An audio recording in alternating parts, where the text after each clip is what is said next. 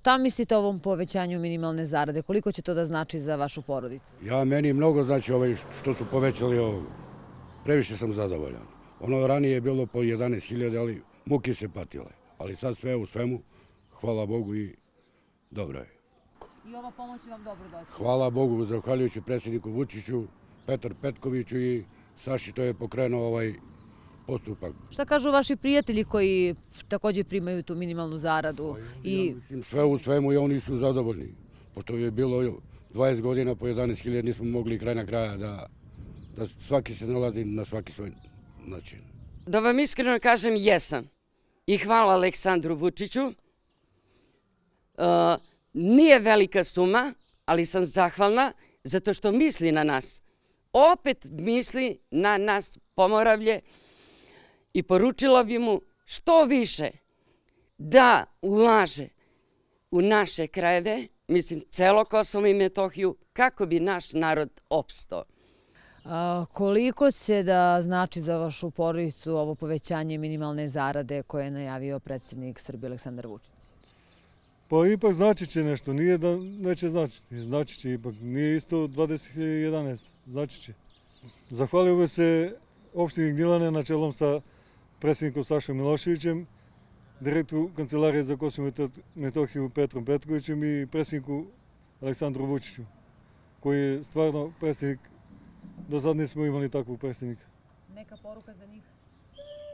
Pa nek su živi i zdravi, nek im Bog da zdravlje i sreće tako. Predsjednik privremenog organa opštine Gnjilane Saša Milošević kaže da će ova pomoć naročito mnogo značiti onima koji su nakon 1999. godine zbog oruženih sukoba i političke situacije ostali bez radnih mesta. Trenutno taj broj radnika koji je radio ranije u društvenim firmama je, ja mislim, na preko nacionalne službe za zapošljavanja koje ostvaruju tu privremenu novčanu naknadu je negde oko 1568 tih radnika i sam broj upravo ukazuje na značaj uopšte tih ljudi, tih porodica i svakako uvećanje njihovih prihoda u ovom momentu jako je bitno i za njihov opstanak, a i šire za poboljšanje socijalnog položaja te grupe stanovništva. Među inicijatorima zahteva za povećanje privremene socijalne pomoći u ime radnika koji su ostali bez posla bio je i Zoran Nojić iz Pasjana.